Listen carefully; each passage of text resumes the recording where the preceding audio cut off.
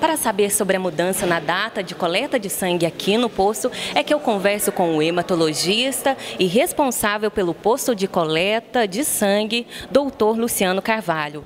Doutor, quando é que vai acontecer essa mudança?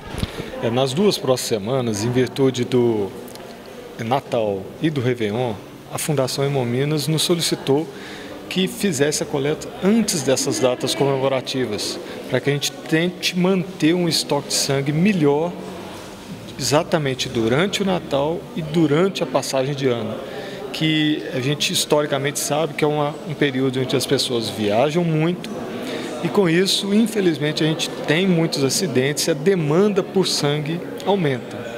E é uma data também que, em função dessas mesmas festas, muitos doadores deixam de vir fazer sua doação. Então a gente está tentando é, implementar essa, essa campanha para que a gente faça a coleta no dia 23 e no dia 30 é, de dezembro. Ou seja, ao invés de nós fizermos, fazermos a coleta na quinta-feira, nós vamos fazer na segunda-feira que antecede o Natal e o Réveillon. Doutor, então é muito comum neste período de fim de ano o número de doadores diminuir. Sim, é, é, é normal. A gente sabe, as pessoas estão mais envolvidas com as comemorações do fim do ano, então a gente sabe que as doações diminuem. Então a gente tentou, junto com a Fundação Mominas, antecipar essa coleta para o dia 23 e o dia 30 pela manhã. Doutor, e quem pode doar? São as pessoas maiores de 18 anos até os 67 anos é, que tenham boa saúde.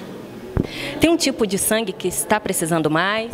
Nós sabemos, em função de dados estatísticos, que o sangue O negativo e A negativo são os que a gente tem uma maior demanda, né? E, é, normalmente é isso. Mas a gente pede qualquer tipo sanguíneo, qualquer doador possa vir doar, independente que, é, de ser ou não de sangue O negativo ou A negativo.